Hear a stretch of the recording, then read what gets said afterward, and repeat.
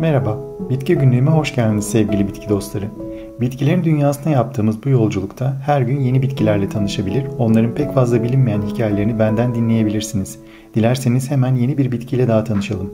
Haseki küpesi ya da Latince adıyla Aquilegia cerulea, düğün çiçeğigiller yani Ranunculacea familyasından gösterişli çiçekleri olan güzel bir bitkidir. Ana Kuzey Amerika olan Haseki küpesinin çiçeklerinin ince ve kıvrık boru biçiminde kendine özgü taç yaprakları ve maydanozu andıran yaprakları vardır.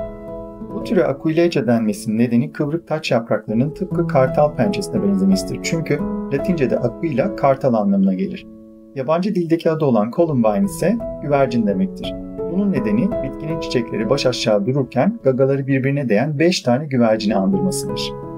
60 ile 70 arasında doğal türü bulunan haseki küpesinin bahçecilikte süs bitkisi olarak kullanılan pek çok çeşidi de vardır. Fakat en ünlüsü Colorado haseki küpesi olarak bilinen Aquilegia cerulea'dır ve bu çiçek Amerika Birleşik Devletleri'ndeki Colorado eyaletinin resmi çiçeğidir. Çiçekleri beyazdan mora kadar çok farklı renklerde bulunabilir.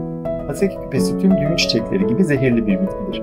Özellikle tohumları ve kökü ölümcül derecede zehirli olan bitkinin nispeten daha az zehirli olan taç yapraklarını eskiden Amerikan kızılderilileri az miktarda bitki çaylarına koyarlarmış ve ülser tedavisini kullanırlarmış.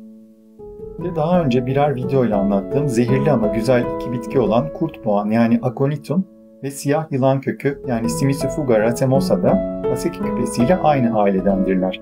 Çok yıllık bir bitki olan haseki küpesi bahar sonundan itibaren güzel çiçeklerini sergileyerek kelebek ve arıları bahçenize davet eder.